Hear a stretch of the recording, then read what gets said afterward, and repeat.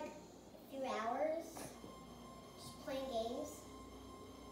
Time almost up. I have to go.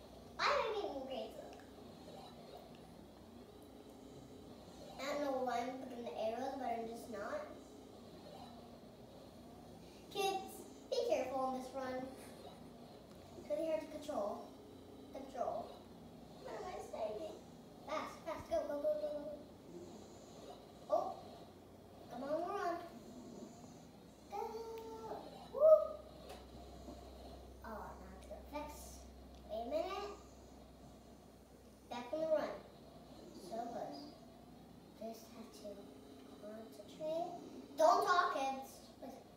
look at that. Woo! Second place.